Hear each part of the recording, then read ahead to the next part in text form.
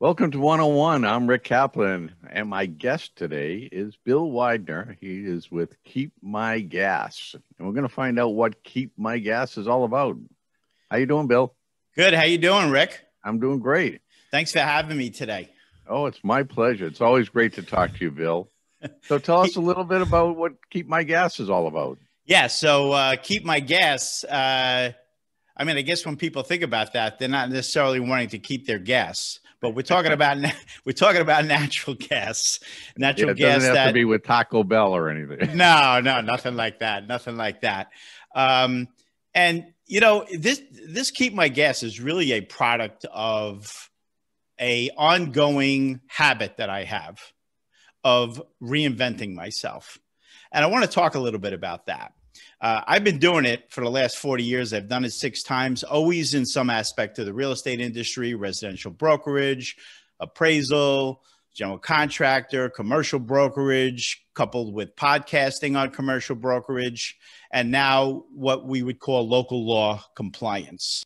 So, what I find is that this ongoing adaptation to new skills and the career capital, and most importantly, the relationships that compound along the way always seems to be the foundation for the next venture. So at this point, I finally accepted the fact that whatever I'm doing today, whoever I'm meeting today, whoever I'm interacting with, what I'm learning is going to support tomorrow. Getting back to keep my gas. A year ago, I noticed that there was a new local law that was passed in 2016, so not so new, but it was newly going to be enforced by the Department of Buildings starting January 1st, 2020. And Local Law 152 is titled The Periodic Inspection of Gas Piping Systems. And my brother's a master plumber, a licensed master plumber in the city of New York. So I said, Doug, what is this? And he explained it to me. And I said, Are you going to be doing these inspections? And he said, Yeah. He says, uh, As a master plumber, I don't have to, but I'm going to take this course. I got to buy the device.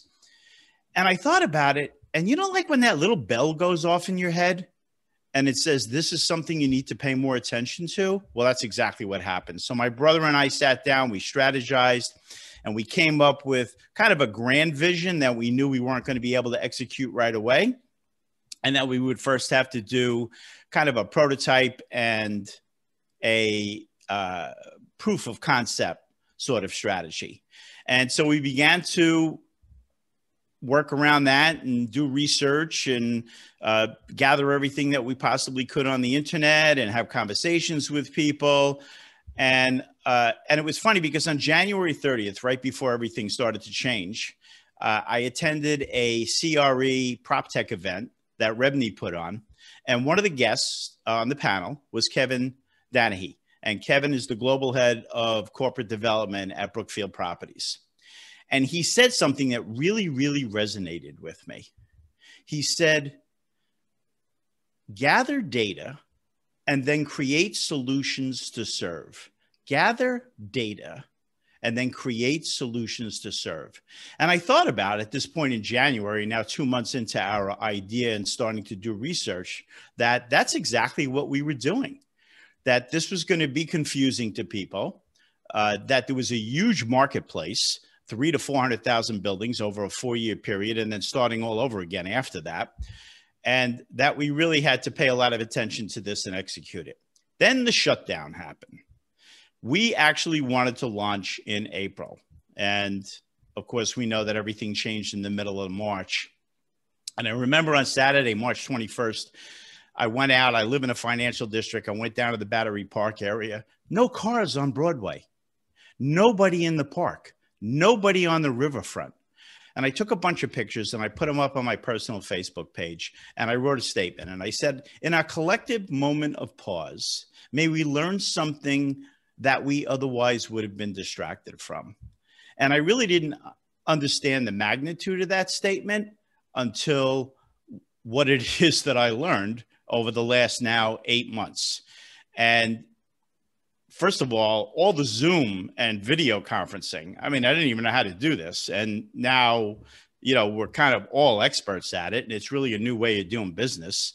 uh, learning how to use graphic arts program and create presentation slides so that you could actually do Zoom webinars and meetings and moderate things. Uh, creating uh, pandemic relevant podcast because I have a podcast, Realty Speak, creating pandemic relevant podcast content, uh, doing a startup business at the beginning of midsummer. Uh, but most of all, I realized that the only thing that we have control of is what we think and how we act how we choose to act. Everything outside of us uh, can only change that perspective if we allow it to. We all have the free will to choose how we're going to perceive something, look at it, and react to it. And now, four months into, uh, you know, the new business, I realized that because my brother and I took a, a different perspective and said, "Hey, you know, we're in the middle of a pandemic, but, you know, people are going to need to have this done and we need to get it up and running. So we launched it in August and we're doing very well. We're very excited about it. By the way, if anyone wants to check it out, you just go to keepmygas.nyc. That's keepmygas.nyc. And this pertains to buildings that have gas piping systems. And it also pertains to buildings that don't have gas piping systems. And we have a lot of information on the website with regard to that as well. and there are deadlines uh, that have to be met depending on what community district you are in the five boroughs. And for 2020, it's community districts one, three, and 10 in all five boroughs. And so people that are in these community districts are finding out that they have to have this inspection done. And there's really not that many people out there doing it. Uh, there are probably about 1,500 licensed master plumbers in the city of New York. Some of them are doing it. Some of them have companies where they have people that work for them that are doing it uh, as well. Uh, certain qualifications are required, uh, but if those people are qualified, they can do the inspections as well. Uh, and uh, we're finding that there's a tremendous demand. And we feel that that demand is going to continue through the end of December uh, when the deadline is over. We're not sure whether or not the Department of Buildings is going to ex- extend it for the 2020 community districts. We hope that they do because we really don't think that because of the pandemic, it would really be possible based on the demand and the number of people that are actually out there qualified to do the inspection, uh, that all of them could be done. And there is a $10,000 fine if you don't have the inspection done and file. So I really hope that the Department of Buildings, and if they're listening, I hope that they they say, you know what, we're gonna we're gonna extend this, and maybe everyone that was in 2020 has until June 30th, 2021 to do it. So, Bill, what are you expecting inspecting? Uh, so, yeah, so uh, it's a two-phase inspection. We're going out and uh, using well, when I say we, my brother, he's licensed master plumber. He's actually the ones that does the inspections. And by the way, he does the inspections under his plumbing company, DW Plumbing. Uh, and then Keep My Gas is really more of a consultant and a facilitator that takes care of all the logistics. So what? It's a two-phased inspection, and uh, Doug goes through the hallways and all the common areas, not in the private tenant spaces, not any private residential tenant spaces or any private commercial tenant spaces, with a portable combustible gas detector. And that's kind of sniffing to see if there's any gas seeping into the common areas from a private area. Assuming that that's not the case, then he goes into the area of the building, which is typically the basement or the subcellar, that has all the exposed gas piping, the point of entry, and the gas mechanicals. And he does a visual inspection on that. And he also does this inspection with the portable combustible gas detector. And uh, assuming everything is okay, there's a report called the GPS one, which gets filled out and is transmitted to the owner.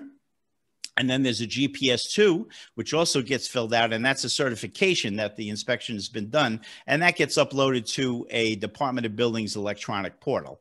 And we take care of that, and we fill in our information as the uh, representative that the owner authorized to go ahead and do that. And then they get an email from the Department of Buildings. We get an email from the Department of Buildings once it's been filed. Uh, then we transmit the electronic documents to the owner and then we mailed the hard copy documents to the owner. And the hard copy documents have to be sealed with the plumber's raised seal and then signed with a wet signature. So that adds a little bit more time to getting everything done because you got to fill that stuff out, print it out, sign and seal it. Then you got to scan it, and then you got to do the filing and then transmit everything to the owner. So it's basically checking to make sure everything is working properly and there's no leaks. It's a safety, yeah, it's a safety inspection. Yeah, yeah, pretty much. Yeah, and I would say that uh, about about ten percent of the buildings might have like a repair or something that they have to do, but they have, you know, four to six months to do that. Uh, if there's a leak, you got to call the utility. Uh, if there's excessive corrosion or some kind of illegal, dangerous connection, you got to call the utility and wait till the utility comes down, and then they make an assessment whether or not they want to uh, do anything with the gas at that point, a partial or a complete gas shut off. We've actually called the utility three times and they've never shut off the gas. Two were for excessive corrosion and one was for a gas leak. And the gas leak, they tightened a nut, was National Grid. They tightened a nut, then there was no more gas leak. Everybody went home. Everybody right. So most fine. of the time, it's uh, the uh, property owner doesn't have to pay for those type of repairs. Uh, because well, eh, well, I mean, if there's a repair required, right, some kind of change that has to happen in the piping, or there's something that is no longer code compliant, they're looking at the 2014 code. Uh, it's a safety inspection, right? If the plumber sees something that impacts safety, then the plumber is going to report it on the report. It's going to indicate that something needs to be corrected on the GPS two. They actually, the GPS two actually that goes to the Department of Buildings does not ask for a list of what needs to be done, and then the owner has four to six months to get that done. Unless it's an emergency situation, then you have right. to file an immediate, uh, uh, an, an immediate, immediately for a permit and go ahead and you know get that fixed right away. And yes, of course, they would have to pay for those repairs. No, but I'm saying if it's uh, part of the, a lot of times the gas piping or meters and things like that, there could be issues, but that a lot of times is taken care of by the gas company. Oh, so we had an example like that actually. Uh, one of the uh, buildings we went into, it was the large pipe that was at the point of entry, and it was excessively corroded. Matter of fact, it was so corroded that when Con Ed came in to fix it and they touched it, it crumbled in their hands. Obviously, they had already shut the gas off before they did that. So, you know, we called them. They came down. They looked at it. They said, "You know what? This is our pipe. We're going to fix it." So that probably saved that owner about eight thousand dollars. But that, but, but most of the piping in your gas piping system is your piping and your responsibility. It's inside the building. Right, right, right. Well, Bill, that's a lot of information to take in. Uh, you know, and how long has this been in place? This. Uh, well, the uh, law, the law, the law was uh, finally passed late 2016. Uh, but the Department of Buildings and the City Council and some of the other stakeholders like the Master uh, Plumbers Council, the City of New York, Plumbing Foundation, uh, all kind of strategized. Well, how are we, you know, there's three to 400,000 buildings that are impacted by this. Uh, how are we going to spread this out so we're not trying to do it all at once and that's when they came up with the community district idea oh, so in 2020 so it's only i'm sorry go ahead so they're only giving it till the end of 2020 to get it inspected? Well, for community districts one, three, and 10. Oh. Then there's a whole new set of community districts in 2021, then another set of community districts in 2022, and then the final year will be another set of community districts in 2023. And then the people that had it done in 2020 will then start to do it again in 2024. So it's a cycle. It's like the facade law, which I believe is a six week cycle, uh, six year cycle where you have to have your facade checked and and then if uh, if uh, there's a problem you got to get it fixed and then you have six years before you have to do it again. So we want everyone to know where they can get the information again. So why don't you give us uh, that website? All right so it's uh keepmygas.nyc k-e-e-p m-y-g-a-s dot n-y-c and is there a telephone number if they yeah, want. they can. Yeah, they can call me at 917 232 8529. That's my cell phone number. It's the only number I have. Uh, you can leave a message. You can text me if I don't pick up 917 232 8529. And if you want to email me, it's bill at keepmygas.nyc. B I L L at K E E P M Y G A S dot NYC. Bill, you are you're still doing your uh, your uh, podcast? Still doing the podcast. Okay. Actually, the last podcast that I did was with you. Me. Oh, great. yeah. And it came out in September. Best and we've been so, we've been so busy, I haven't had time to do another podcast. So if someone wants to listen to your podcast, how, how would they listen to your podcast? Yeah, they would the just go to my they go to my real my commercial real estate website, uh, which actually is kind of cool. It has a, a COVID nineteen real estate blog with a lot of information about COVID nineteen and a collection of webinars uh, that uh, were online. You know, April, May, June, July, August, September. Uh, October. I don't think I posted anything there from November. And they you can look at some of the past webinars. And what's cool about that is some of the icons in commercial real estate invited us into their homes via Zoom. Right. And you got to hear conversations from them that you would never be able to have otherwise. And so I, I you know, the pandemic is a is a difficult situation. There's no doubt about it. And I hope everyone out there is healthy and safe and and in some cases it's been tragic with the loss of life. I mean that there's just no way to you know want to or try to justify that. That's a horrible horrible thing. But that's not something that we have control over. No so, uh, but right. we're and but, everyone's so, dealing with it. Right. So you got to deal with it. You got to choose how you're going to deal with it and uh, and and I think there was there's a lot of positive things that are coming from this because it's getting people to think differently. You know, oh, remember I said in our momentary, in our collective moment of pause, maybe we learn something we would have otherwise been distracted from. And exactly. we get so we get so deep into our routine and how we're doing things and the way it is that we almost need something like this to break our pattern so that we step back a minute and take pause and say, hey, maybe this should be done differently. I mean, think about all the people that are going to be working from home now and are never going to go back to an office. Yeah, I mean that's uh, it's a whole change of life for yeah. everyone. Yeah, for sure. You know, some people sure. are embracing it, and some people are just saying, you know, I can't deal with this. You know, and you know, I can understand both sides of it.